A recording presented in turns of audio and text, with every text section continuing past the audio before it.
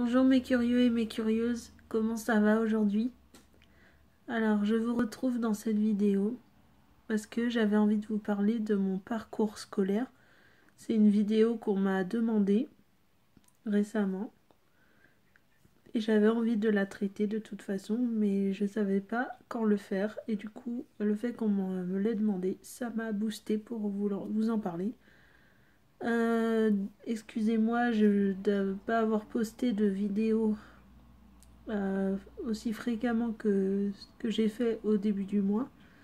C'est qu'avec mon travail, euh, ben, il est très prenant.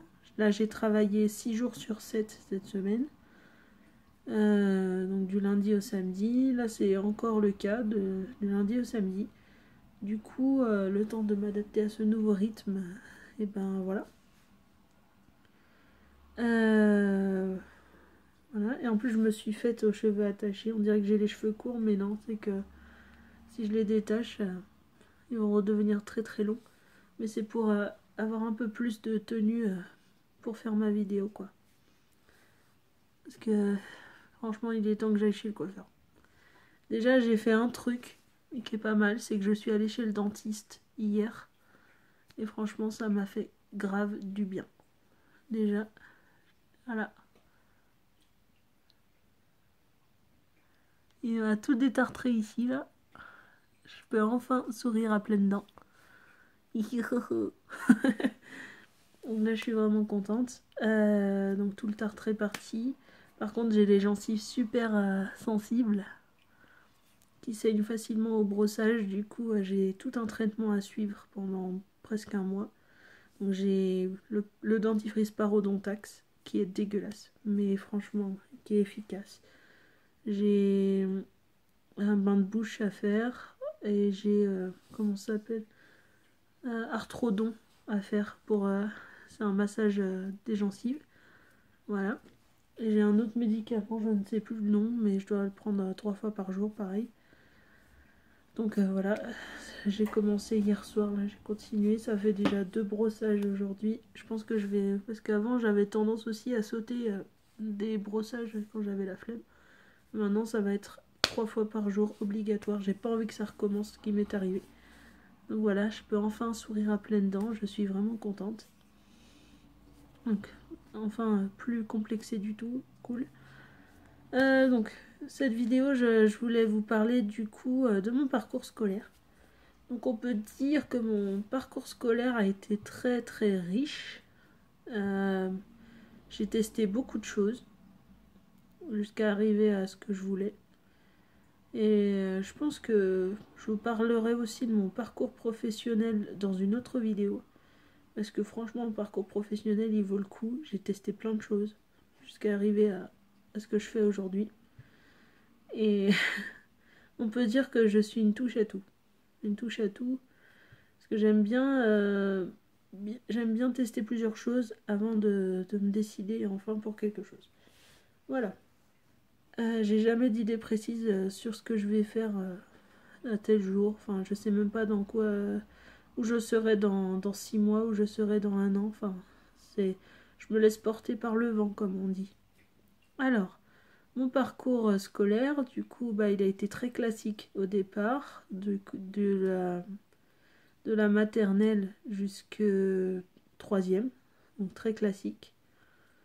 Euh, ça va pas, pas une être une vidéo très longue, voilà, mais c'est pour euh, vous expliquer par où je suis passée, donc voilà. donc très classique, comme j'ai dit. Donc la maternelle et la primaire, je les ai faites dans la même école. Euh, ensuite, bah, je suis allée au collège, donc de la sixième à la troisième, donc dans la même école pareil. Et ensuite, j'avais le choix entre aller dans une, euh, école, euh, dans un lycée, pour faire un cursus bah, classique, somme toute, somme toute classique, et où alors, moi qui voulais faire euh, à l'époque, je voulais me diriger vers euh, le métier de vétérinaire, parce que depuis toute petite, j'avais envie de faire vétérinaire. du coup, je m'étais dirigée vers euh, un lycée agricole qui s'appelle le lycée Les Vergers à Dole de Bretagne. J'ai mal vécu cette seconde. Mal vécu cette seconde parce que j'étais tout le temps mise à l'écart. J'étais tout le temps rejetée par les autres. Du coup, j'ai en plus j'ai voulu comme une comme une gnognotte alors que j'habitais vraiment pas loin du lycée que j'aurais pu rentrer tous les jours. J'avais envie de, comment dire, peut-être un début d'indépendance. Euh, un début de sentiment d'indépendance. Et ben j'avais voulu tester ce qu'était l'internat. Et pour moi, j'ai fait la plus grosse erreur de ma vie. Déjà d'aller dans ce lycée agricole qui me correspondait pas du tout au final. Et parce que déjà j'ai perdu de vue euh, toutes mes amies. Et je m'en suis fait d'autres, bien sûr. D'où euh, ma meilleure amie Faye. Euh, bon, je la connaissais depuis le collège, mais voilà. Ou, et Maude. Bon, celle-là, n'en parlons pas. Faye, c'est ma meilleure amie, quoi. Et Maude, j'en parle pas parce que elle m'a fait des, coups dans le dos. Quoi. Euh, voilà, c'est pas l'histoire euh, de la vidéo. Euh, voulais vous parler du coup de. Ben, j'ai mal vécu ça, mais j'ai appris pas mal de choses qui me servent encore aujourd'hui. Euh, du coup, mes parents sont allés voir mon professeur principal qui voulait me faire redoubler alors que j'avais 11 de moyenne. Mais bon, voilà, on va comprendre. Parce que sous prétexte que j'avais pas 12 de moyenne, il voulait me faire redoubler. Super. Du coup, mes parents euh, sont allés le voir. et lui ont dit euh, elle a une super moyenne par rapport à, ce que. Elle a une bonne moyenne, quoi. 11, moyenne, 11 de moyenne, pour moi, c'était bien parce que je tournais toujours autour des, des 10, 11 et 11 de moyenne alors que c'était assez difficile. Bah, c'était super pour moi. Euh, la faire redoubler alors qu'elle a une bonne moyenne. Euh, voilà. Euh, qu'elle est toujours assidue en cours, enfin voilà. Euh, vous êtes vraiment une ordure Non, non, ils ont pas dit ça. Euh, du coup, ils m'ont inscrit dans un lycée, euh, dans le lycée où j'aurais dû aller au départ au final. un lycée classique, enfin voilà, pour faire une seconde générale. non, bah non, bah non, j'avais déjà fait ma seconde, je bête. Non, je suis directement rentrée dans ce lycée en première, du coup, dans un cursus général. Donc en première. Et là, j'ai rencontré mes, mes trois amis, dont celle avec qui je fais du sport régulièrement. Euh, trois amis, donc euh, je dirais pas les noms. Euh, voilà. Donc franchement, on est toujours en contact, même on va dire, ça, fait déjà 10 ans. Déjà 10 ans le lycée quasi. Ça passe vite. Parce que partie du lycée à 18 ans, moi j'ai vers 26, donc ouais, 8 ans. 8 ans le lycée déjà. Donc depuis, euh, depuis toutes ces années, euh, ça, ça, fait, ça fait 10 ans, puisqu'on a commencé en première. Donc euh, ouais, depuis 10 ans, on, est toujours en contact, donc c'est génial. Des longues amitiés comme ça, ça fait du bien plaisir. Euh, bref.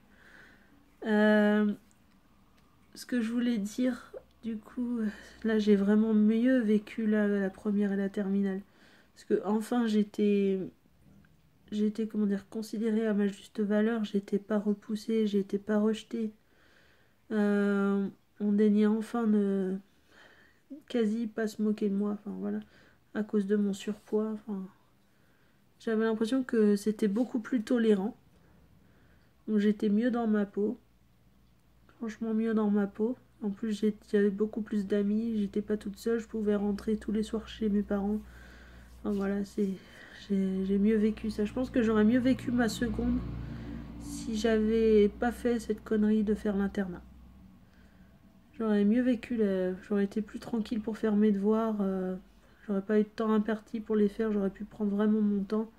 J'aurais pas eu ces moqueries, j'aurais pu faire une coupure entre, entre l'école et puis euh, et puis euh, la vie privée quoi. J'avais voilà j'étais jamais seule en fait. J'avais besoin d'être seule. Je suis quelqu'un d'assez solitaire.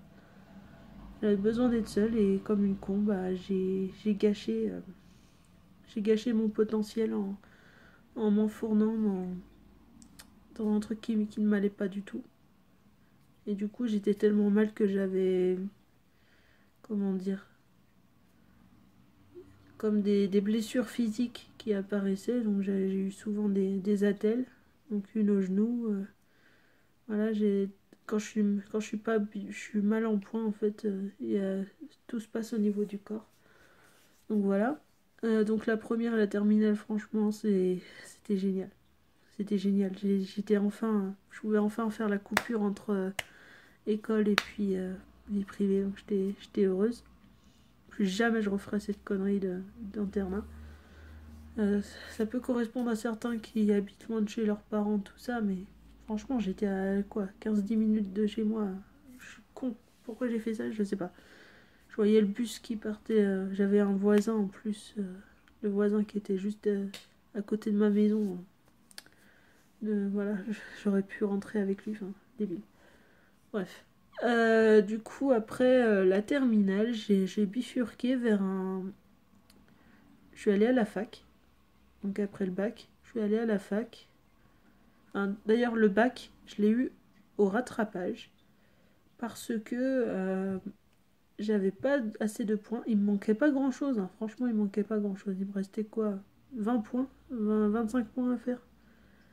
Et c'était pas grand chose.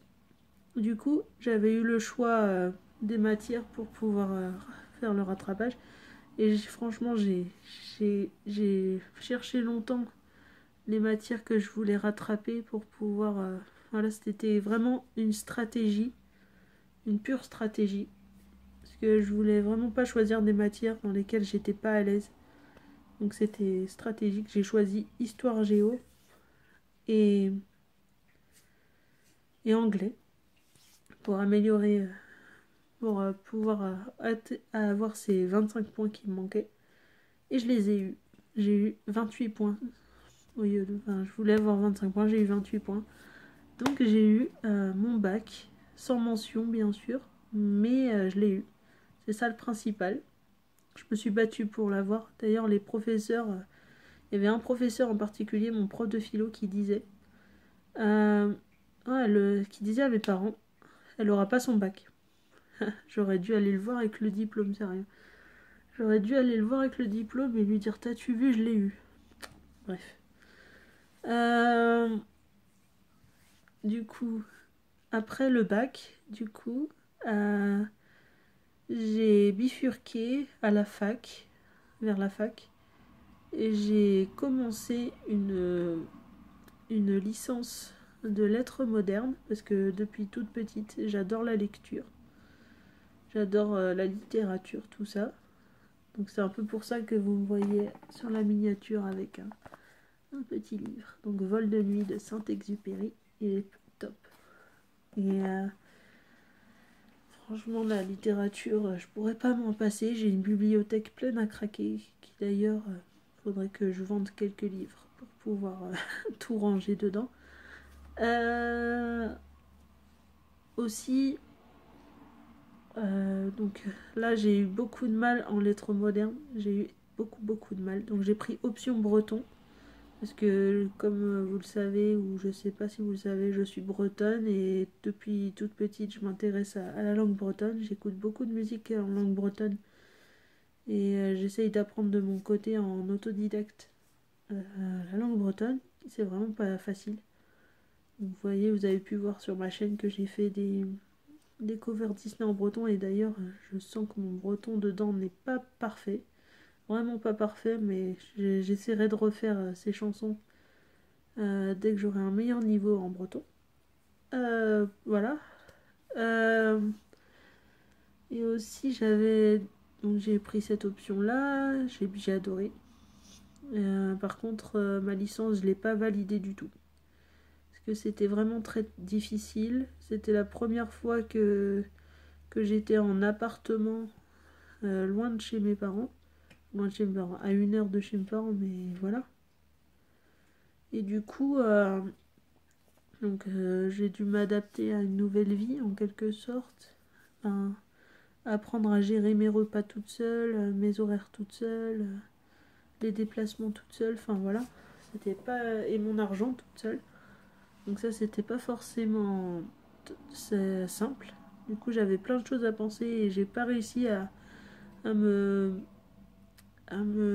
mettre à 100% dans mes études.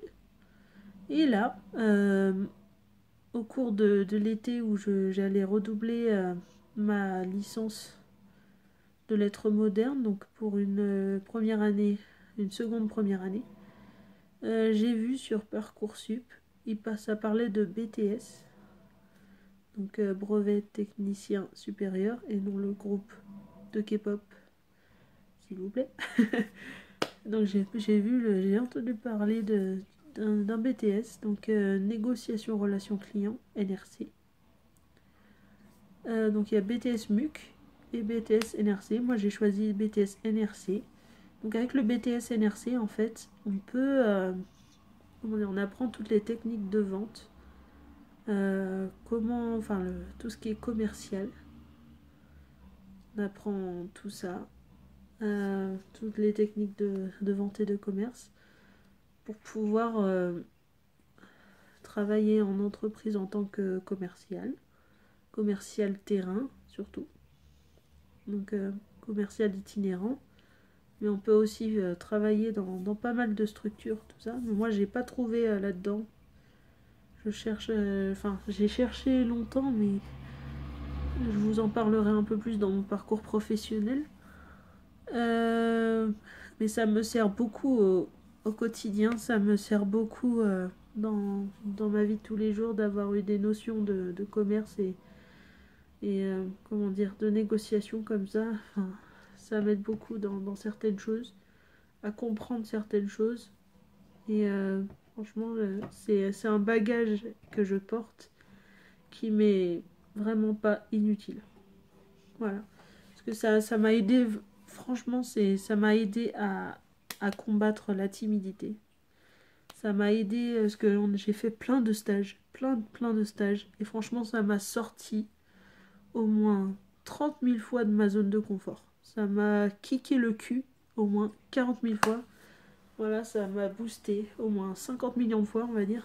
Et euh, franchement, euh, maintenant j'ai des bases commerciales. Bon, elles sont pas solides, solides, solides, mais j'ai des bases commerciales vraiment utiles. Voilà.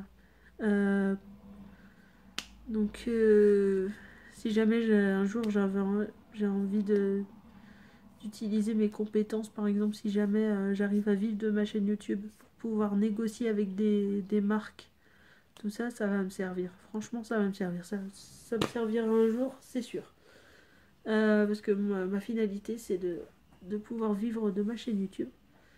franchement, sans ce PTS là, euh, je pense que j'aurais jamais pu vous parler comme ça, comme je vous parle là maintenant, avec autant d'aisance. Déjà, euh, un an sur YouTube, ça m'a beaucoup aidé, mais alors le BTS NRC, ça m'a vraiment aidé parce que avant le, le BTS, j'étais incapable de tenir une discussion comme ça, euh, même en face cam, j'étais incapable de le faire. Et franchement, ça a changé ma vie. Donc voilà, j'ai fait deux ans parce que c'est sur deux ans un BTS. Et euh, je l'ai eu. Je l'ai eu, j'ai cravaché comme une malade pour l'avoir.